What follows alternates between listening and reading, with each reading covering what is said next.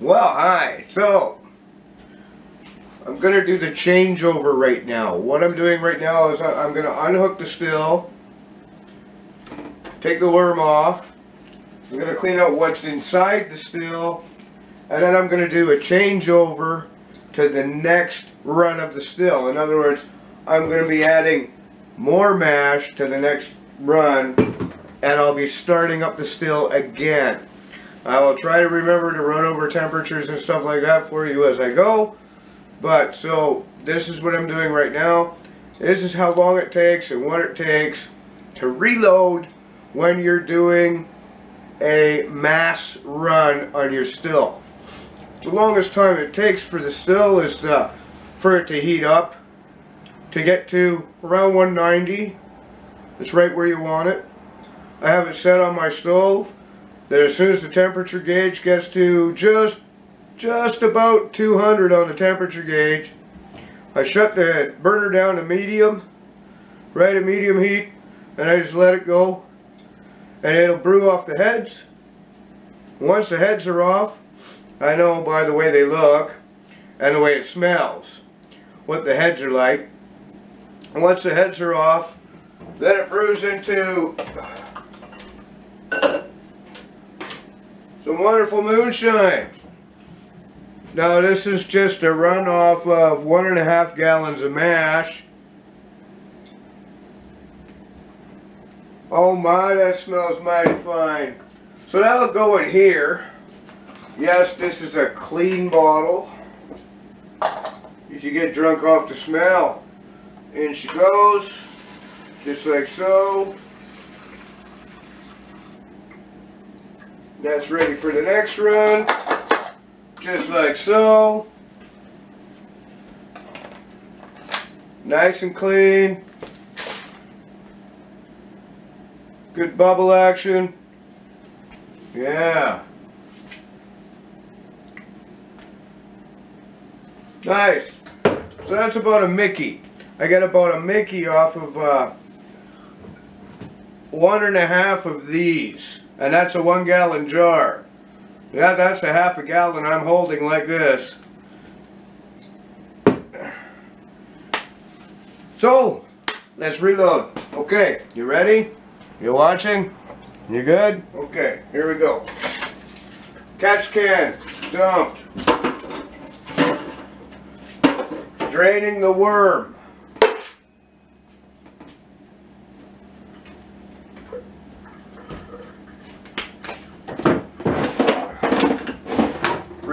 The worm. Yes, it's hot. The worm is extremely hot.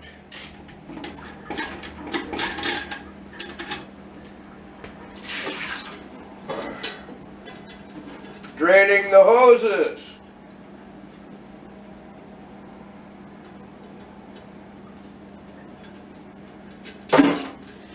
Worm is clear.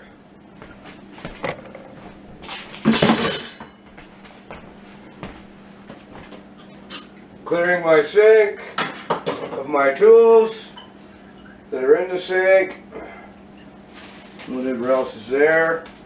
Now, that still is at about 180 degrees still, 190 degrees.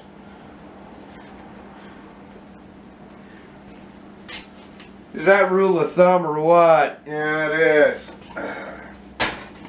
The top. Make sure you don't put your over the hole because that'll burn you still.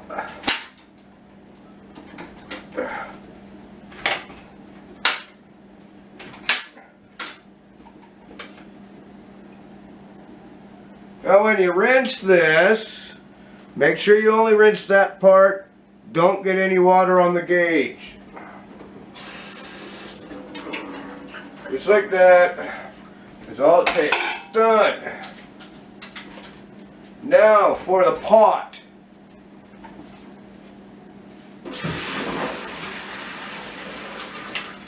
Now she goes.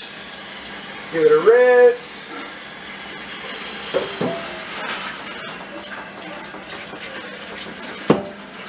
Just like so.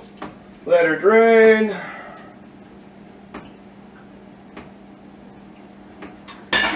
I'm ready for the next batch.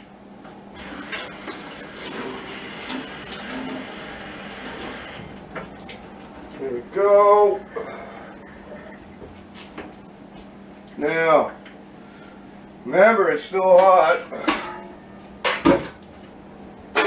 So,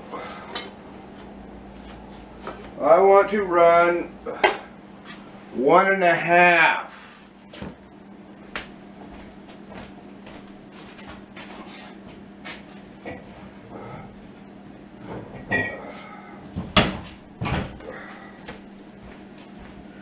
One and a half. So,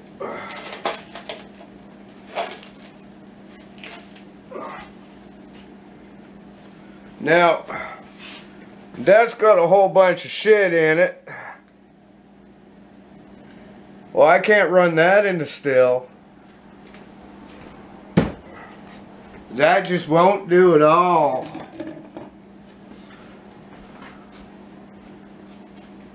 The like that, and then she goes.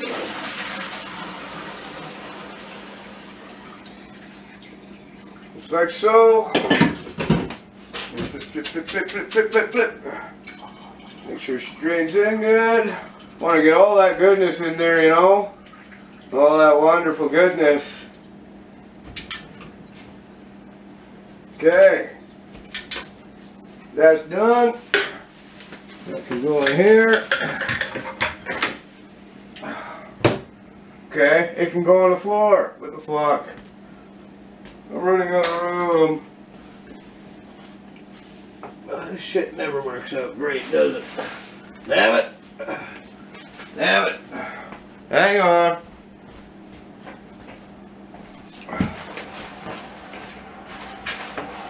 Now my floor smells like marijuana. Yeah, there we go. Okay. Got another half gallon here. There she goes.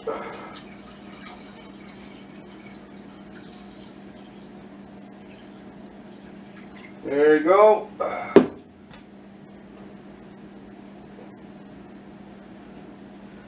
Little leaves won't really matter. I think she's a bit full, but now I want to rinse my jars before I hook the still back up.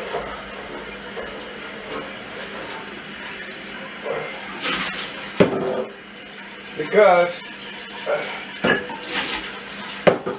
I can start the next brew. Well, I'll probably do that tomorrow.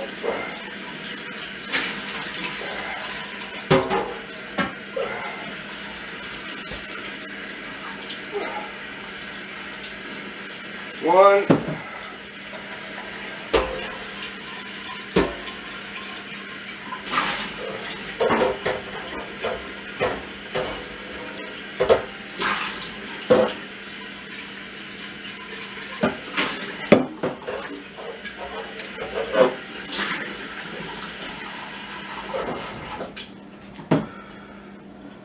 Clean jars, ready for the next run. They can go back over here for now.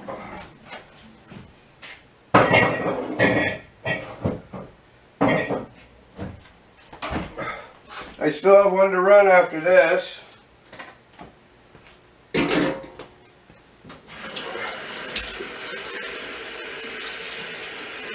I make sure and clean everything as I go. That way I don't get a backlog of dishes, you know. So just like that, the still is reloaded. Put on the top.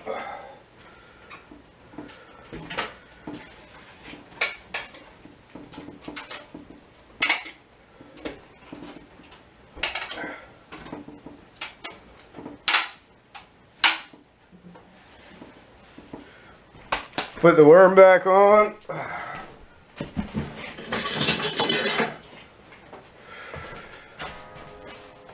That damn thing didn't release properly again.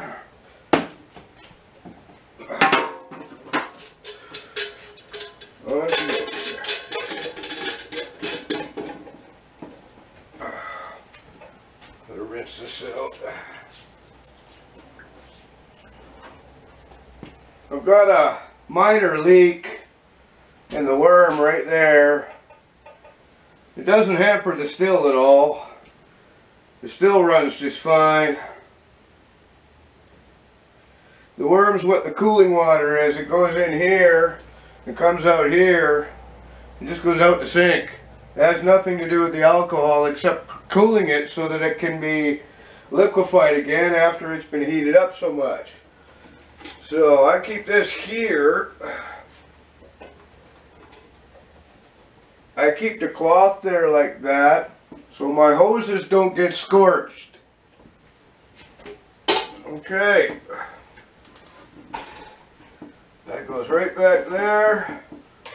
I'm right back good to go. There's my glass for catching the heads, like so. This catches the drips off of there, like so. This goes back on here, like, nope, it's not gonna work. Every single time. You always got to go through stuff like this every single time. Yep.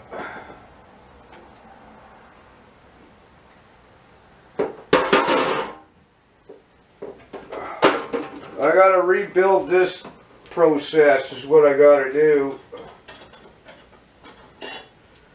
But I was a bit ingenious on the way I put this together.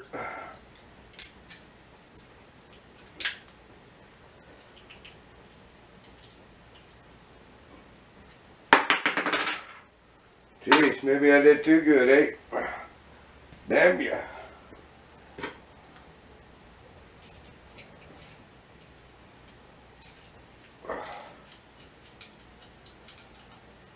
I got an O-ring in there, it's getting in the way.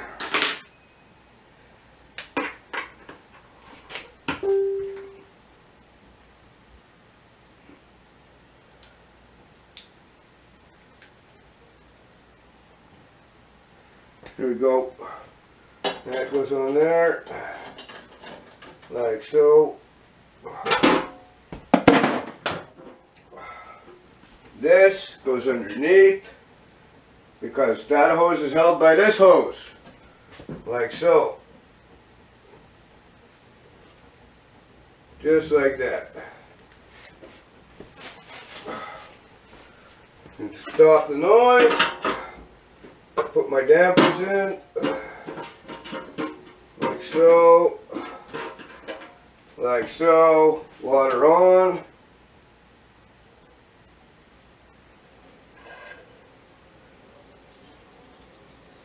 Not too fast. Not too fast. Start by heat.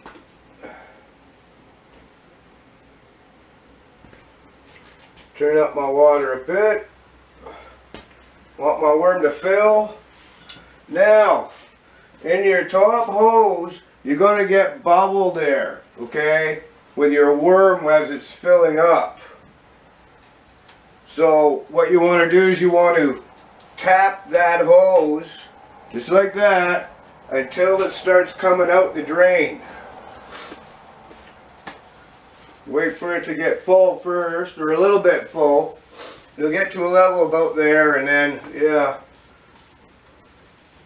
And then you tap, like this.